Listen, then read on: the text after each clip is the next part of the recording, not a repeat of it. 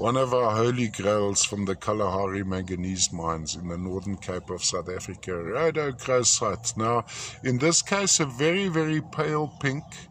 On the cross sections, you can clearly see that it's rhodo. There we go, across there.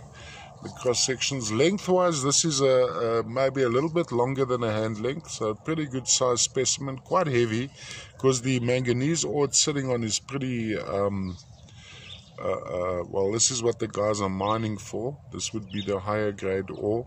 On the side here, running into the rhodos on the on the bottom would be manganite crystals.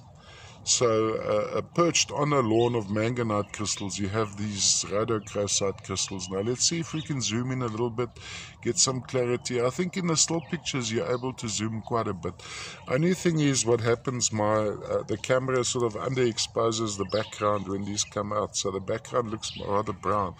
But what, what we're looking at is actually having an accurate uh, picture of the specimen rather than a, a pretty picture for holistic viewing all the way, of course, from the northern Cape of South Africa, um, rhodochrosite, in this case, a very, very light pink.